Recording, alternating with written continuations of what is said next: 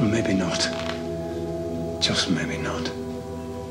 He got himself a bike, a family, and a set of shared values. And you know what, George? He took one look at your world and he wasn't interested in it. And neither am I. Your world's coming to an end, George. It's inevitable. You won't know England in 20 years. I fear you might be right. Okay, so Billy Lister ran his bike into a wall because he wanted to dance with the ghost of the machine, and Laurie Elton drove off a cliff because he wanted to have fun touching the darkness. oh man. And you talk to me about bullshit. You want to do some thinking, Ricky.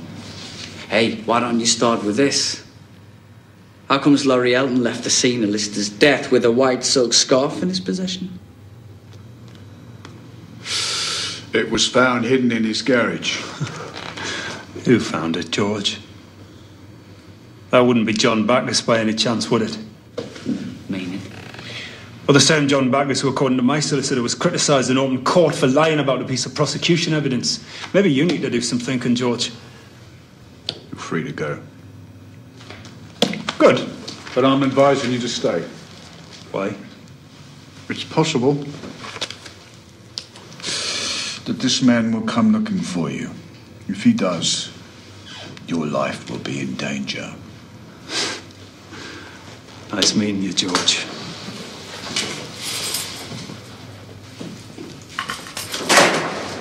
I had to